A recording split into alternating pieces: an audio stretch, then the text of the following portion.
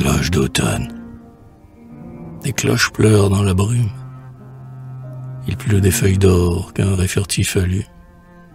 Des cloches pleurent sans finir pour tout ce qui s'en va sans jamais revenir. Quelle agonie immense et triste que l'automne. La mer entre les arbres là monte au loin sa marée exacte et monotone, mêlée au rythme de ce glas. Demain les morts, à la fête de la tombe. Ah, ce glas lugubre qui tombe, à coup sûr, dans mon cœur solitaire et béant. Oh, m'en aller. Oh, le néant.